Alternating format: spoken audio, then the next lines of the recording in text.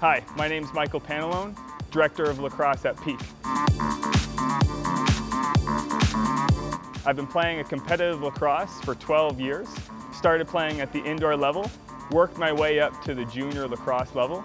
From there on, I received a lacrosse scholarship down to uh, Pennsylvania, played four years NCAA lacrosse, where I uh, finished the leading goal scorer my sophomore and junior year. Uh, I received a degree in sports management entertainment, minor in business. Uh, I'm really excited to start my role here at PEAC. Uh, my job is to bring in some lacrosse players and work on our developmental skills and get them prepared for the college lacrosse level.